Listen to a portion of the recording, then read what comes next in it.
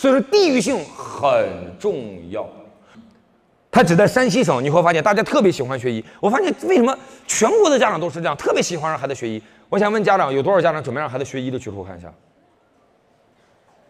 就啊，你是不敢举了吗？就就就就就你自己。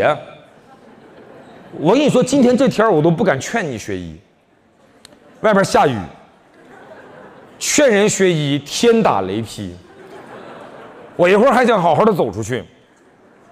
学医啊，你要不你要学医的话，这位家长你要抱着这么几个心态，知道吧？第一，要记住学医地域性很重要。你在哪儿上学，基本在哪儿就业，能明白吗？这个你知道吗？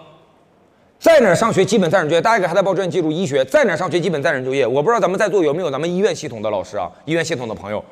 你在你们医院，你问一问，就你们医院那些医生、大夫、护士，哪怕检验影像那帮人，大多数的人毕业于哪个学校？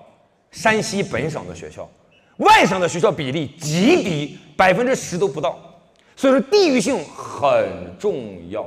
不过瘾，想了解更多完整课程内容，跟我来。直接点击视频左上方我的账号头像，或者打开头条搜索张雪峰老师，进入账号主页，向左滑动页卡，点击专栏，就可以看到咱们的课程目录了。咱们想了解哪些主题，就挑选哪些课程，怎么样？是不是很贴心？